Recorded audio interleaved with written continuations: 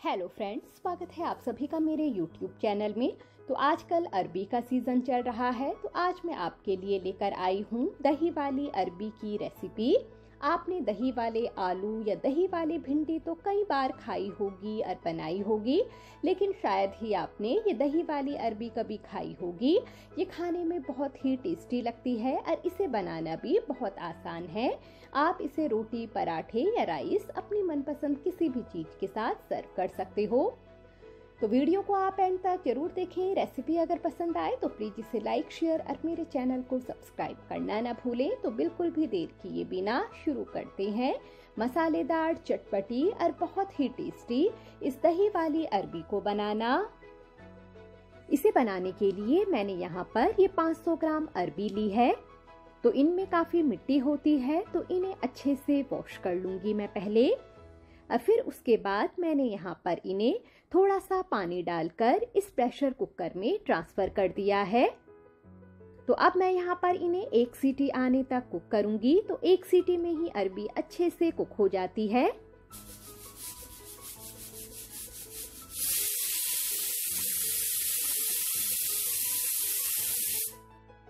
तो गैस का फ्लेम बंद करने के बाद अरबी को यहाँ पर ठंडा होने देंगे।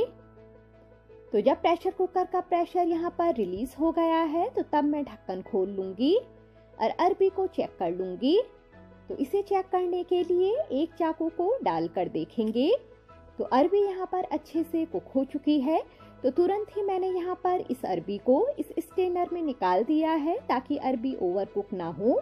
तो जब तक ये अरबी ठंडी हो रही है, तब तक आगे की तैयारी कर लेंगे। दही वाली अरबी बना रहे हैं तो इसके लिए मैंने यहाँ पर ये आधा कप घर का फ्रेश दही लिया है, इसे बोल में डाल दिया है। तो अब मैं यहाँ पर इसमें ऐड करूँगी आधा छोटा चम्मच हल्दी पाउडर, आधा छोटा चम्मच नॉर्मल या तीखी लाल मिर्च का पाउडर, एक छोटा चम्मच धनिया पाउडर, एक छोटा चम्मच कश्मीरी लाल मिर्च पाउडर, इसे मैं कलर के लिए डाल रही हूँ। और एक चम्मच सब्ज़ी मसाला तो अगर आपके पास ये है तो आप इसे डालें, वरना आप इसे स्किप कर लें।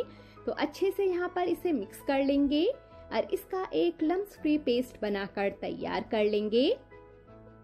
तो दही का मसाले वाला पेस्ट यहाँ पर बनकर तैयार है। आप इससे दही वाले आलू या दही वाली भिंडी बना सकते हो। दोनों ही रेसिपीज़ का लिंक मैंने डिस्क्रिप्शन बॉक्स में दे दिया है। आप इन्हें वहाँ से चेक कर सकते हो।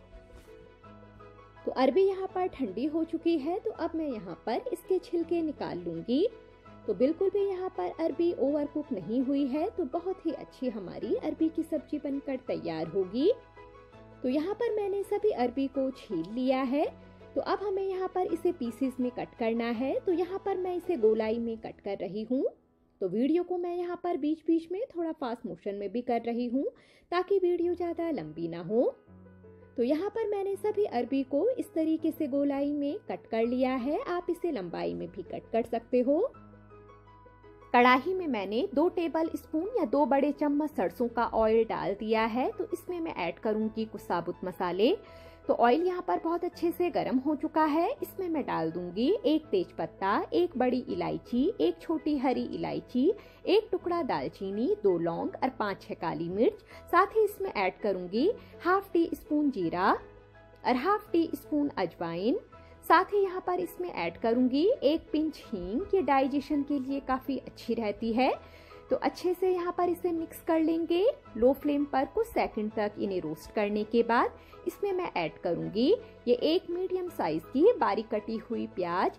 अच्छे से इसे मिक्स कर लेंगे और दो से तीन मिनट तक कंटिन्यूसली चलाते हुए प्याज को भून लेंगे। अब मैं इसमें एक चम्मच अदरक लहसुन का पेस्ट डालूँगी, साथ ही इसमें दो बारी कटी हुई हरी मिर्च।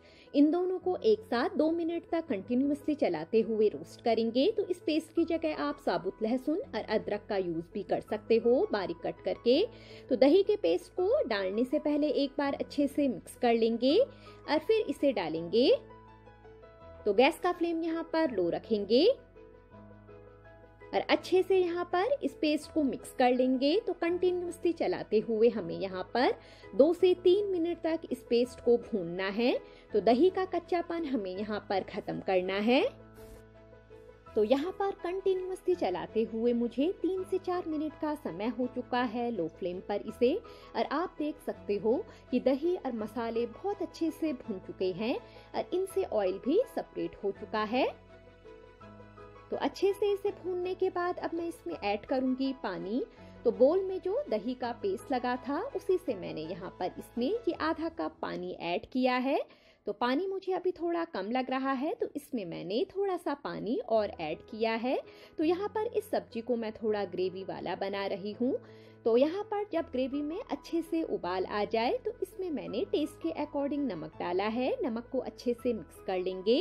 तो नमक हमने पहले नहीं डाला था, क्योंकि पहले डालने से दही फट सकती थी।